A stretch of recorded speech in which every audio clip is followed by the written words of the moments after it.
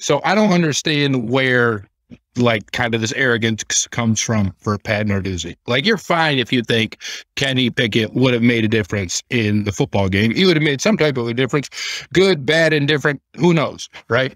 But like that's all you have to say. you don't have to add in all all of this extra stuff to I don't know throw salt on the wound of Michigan State. I guess even though there would be the ones that that would be salty. Uh, I just honest to God, I don't get it because then what? Like, what does it say? Uh, you know about you? Like, if everyone's gonna point the finger right back at you. You're the guy who could convince Kenny Pickett to play in the game. It's not like he was hurt. He chose to sat out because you know, you guys weren't in the college football playoff. If it was a college football playoff game, I bet Kenny Pickett would have would have played in the game, right?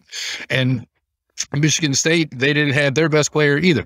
So, like, I don't understand where where this is coming from. Like, I know he was asked a question about it, and he's going to answer one way or another. He just didn't have to be a, a jackhole about it. well, I was going to go point by point with this. So I was leaving certain things out so we can get to those afterwards. But you know, starting with just you know, Nardog and his comments on it. Look, you know, we live in a different world now where he's on a local radio show. And back in the day, local radio shows didn't make national media.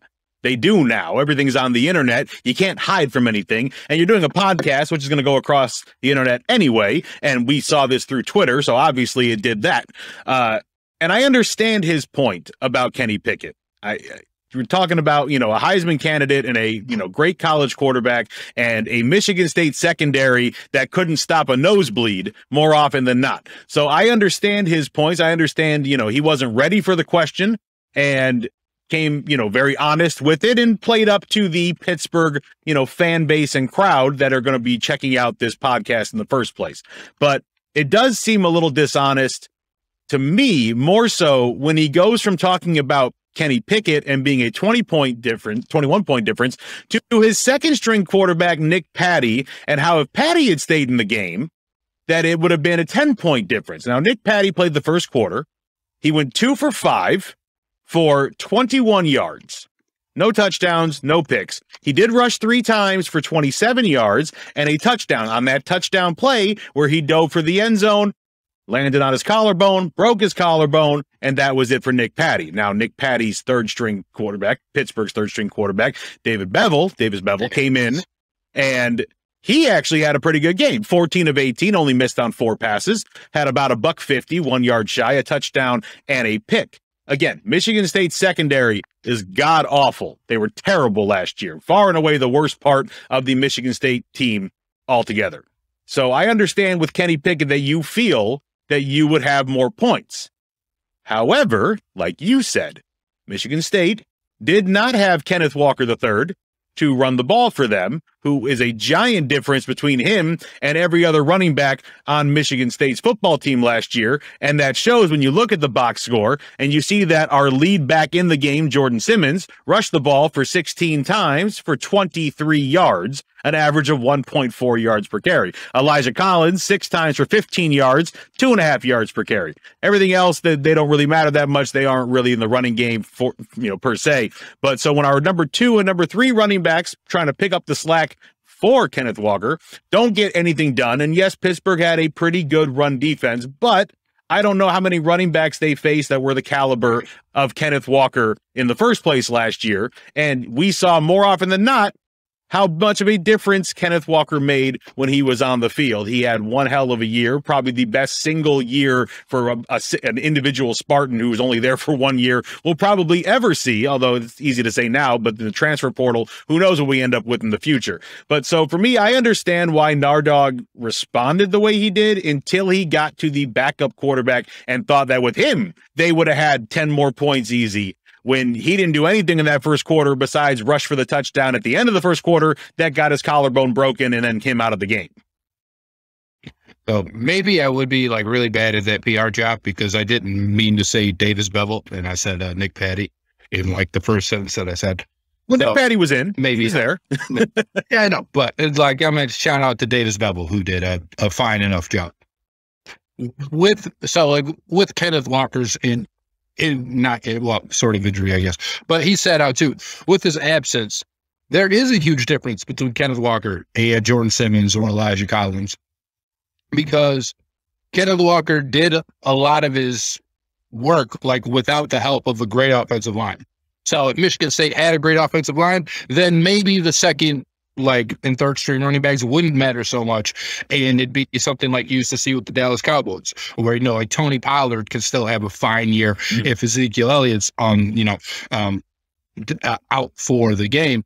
But with Kenneth Walker, I don't know if he finished the season uh, as like number one in this stat, but there's like yards after contact and like he made the most out of unexpected yards or something like that. Kenneth Walker was first pretty much the entire year because he was running behind a mostly bad O line, okay in some spots, but a, a mostly bad O line, and you know he he won the Doak Walker Award. So that goes to show you that he was special because he was fit. He wasn't special because he had a great offensive line. And then again, if you're like Narduzzi, the fact that you would just say, okay, like we didn't have Kenny Pickett, so okay, we can't win the game. You were up twenty-one to 10 when the first quarter started or when the fourth quarter started and then you got blanked 21-0 in the fourth quarter like uh, some of that's got to be on you. That's got to be on your team. You guys obviously had chances to make winning plays, and you didn't do it. You'd spent the whole game before that being fine without Kenny Pickett. You looked like you were going to win the game, and you ended up losing. And if you're a coach, like you have to answer for that portion of it. You know, giving up 21 points in the fourth quarter and not scoring any points yourself, more so than you could just shift the blade and say, okay, well, like we didn't have Kenny Pickett. Like you knew you weren't going to have Kenny Pickett. It wasn't a game time decision that Kenny Pickett's like, oh, by the way, coach, I'm I'm out of here. You had this whole time to game plan without Kenny Pickett.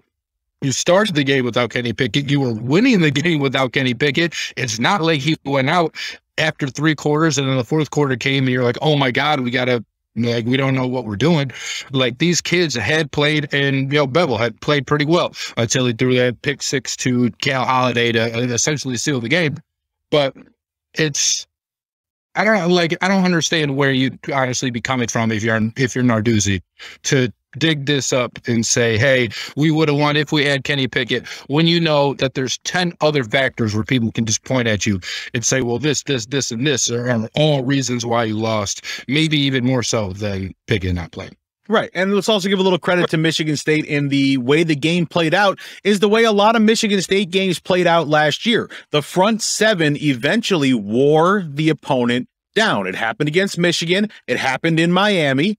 And it happened in the New Year's Six Bowl as well, where in the fourth quarter, look, I, I I love I love the saying. I don't get behind it as much, but it's for lack of a better term, the Spartans kept chopping and they kept chopping and eventually wore down their opponent and they had great play from the quarterback on their side of the ball. Uh, the wide receivers, Reed and Nailor, did their thing, and the Spartans kept going. They did it defensively, obviously to ice the game. They did it offensively as well 21 points, 14 of them offensively.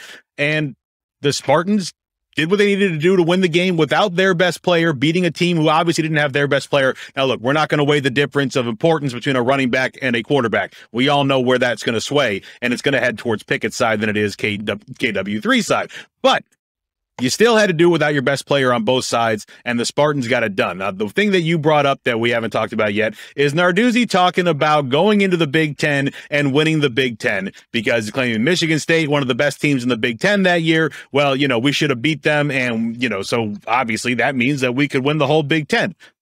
Michigan State had a hell of a year last year. Were they the best team in the Big Ten? No. They're near the top? Sure. Don't be fooling yourself thinking you're going to go in there and run through Michigan and Ohio State and Penn State and Wisconsin as well as Michigan State on your way to winning the Big Ten because it ain't that easy as we've seen teams try and fail year in and year out. So that part of it got to me as well.